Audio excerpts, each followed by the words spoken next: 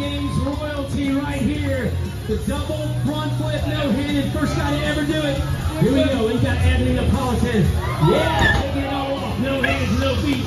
Jacob on his heels. He's got a lot. This guy's young, 23 years of age, just moved out here from Nebraska to Southern California.